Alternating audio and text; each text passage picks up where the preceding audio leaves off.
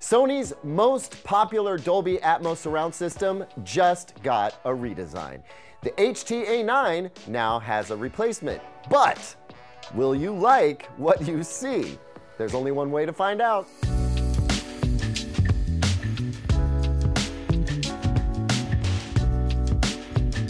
Welcome back everyone, I'm Caleb Denison, and if you missed my last video, here's a little recap. Between a press trip to Tokyo late last year and another more recent trip to the Sony Pictures lot in Culver City, California, I've had a chance to get updated on what Sony is doing with its home entertainment audio systems. Like the TV lineup, the audio lineup has a new naming convention. But I know what you really want to know is about what happened to the HT-A9. So let's start there. The HT-A9 made some pretty big waves as one of the most clever and innovative little Dolby Atmos surround systems, and folks have been eager to see what Sony might do with it. Well, here it is, introducing the new Sony Bravia Theater Quad. Now, if you're anything like me, once you get past the name, you're deciding how you feel about the new shape of the speakers. Quite a departure from the unusually tall cylindrical speakers that came with the HT-A9, aren't they? Those admittedly tall cylindrical speakers were also a little polarizing. They were well made and had attractive appointments, but they were fairly big, which maybe seems like a strange observation considering there are plenty of bookshelf speakers out there that are larger in both volume and footprint. But when you're playing in the home theater in a box space, I think folks go in expecting something less invasive, while also still demanding the kind of excellent sound that usually requires larger speakers. The Bravia Theater Quad attempts to address that. These square speakers have a remarkably thin profile and they can be wall mounted, which makes them a much more stealthy solution than the A9 speakers, which when wall mounted, would definitely protrude from the wall in an awkward way. Now you can stand mount the new quad speakers, which might be necessary, especially in the surround position if walls are too far away or non-existent.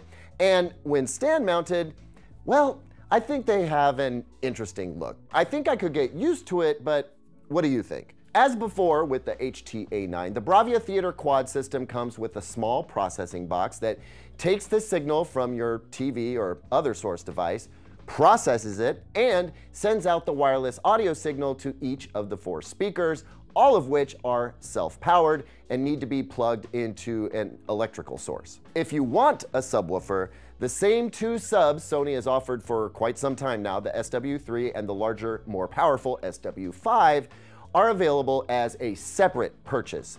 Now, I did not get to audition the quad system without a subwoofer, so I can't speak to how the newly designed speakers perform in the bass department, but it's my hope that they didn't take a huge step back from the HT-A9. I don't think they did. And I think they're gonna offer a big, full sound even without a subwoofer, even if they can't dig in and provide any like seat shaking rumble. Like the HT-A9, the quad system can use a Sony TV as a center channel speaker, but since it's outfitted with Sony's impressive 360 spatial sound mapping technology, creating a convincing Phantom Center channel should be no problem. I did get a chance to hear the system, albeit a short audition. In fact, we didn't get to shoot it a whole lot, so our apologies for not having a ton of video B-roll or pictures, but in that short time, I was really impressed. I don't think the quad takes any steps back. If anything, its Atmos surround effects and fidelity seem as good in some ways and even better in others. But I'm gonna reserve final judgment until we can get one in for review. Now, I don't have pricing and availability info for this just yet, uh, although when I do, I'll pin it as a comment down below, so you'll need to stay tuned for that. Okay, I also want to tell you about three more products Sony will be offering this year.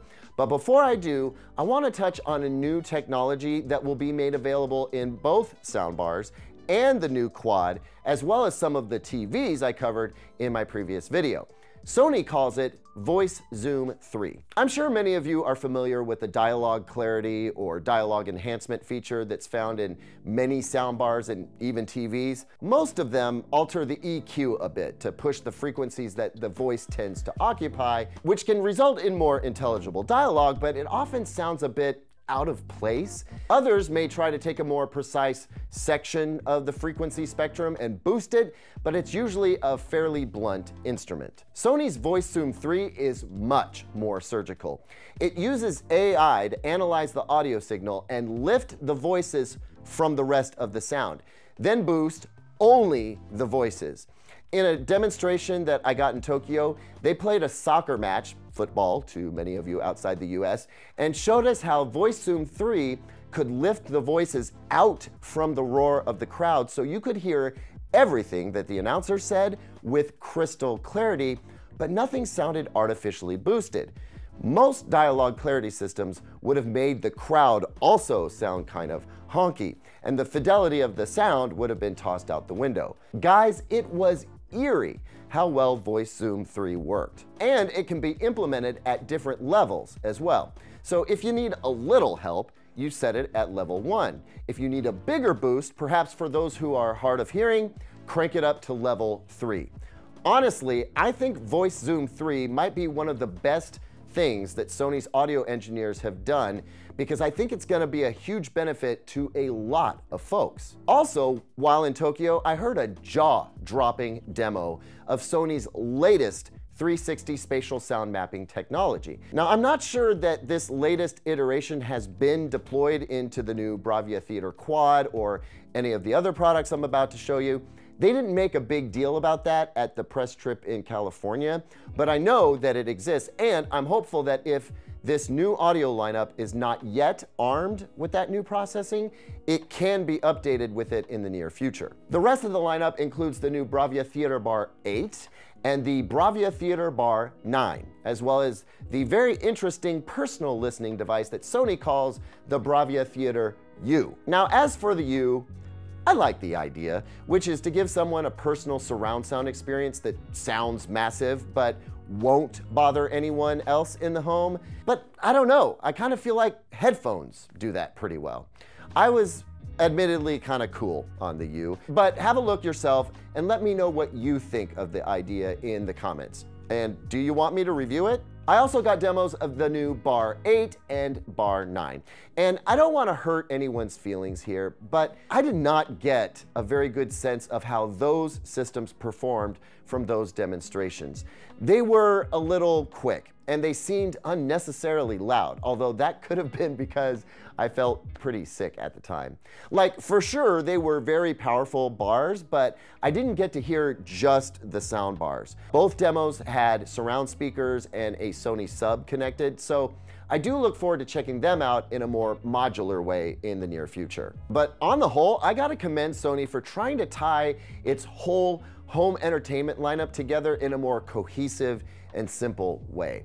I think Sony is going to have some super compelling demo setups in retail stores, and it's never been a more attractive proposition going all Sony for your living room. To be sure though, I am gonna have a blast evaluating all of Sony's gear this year. Between its aggressive new TVs and its new audio systems, Sony aims to bring the cinema experience home for everyone, not just those with dedicated rooms and deep pockets. And you gotta love that. Thanks so much for watching, everyone. What do you think? Leave me those comments down below. I can't wait to see what you have to say about the quad, especially. Drop us a like while you're down there. Subscribe if you haven't already and liked what you see. I'll see you on the next one. And until then, here's two other videos I think you might like.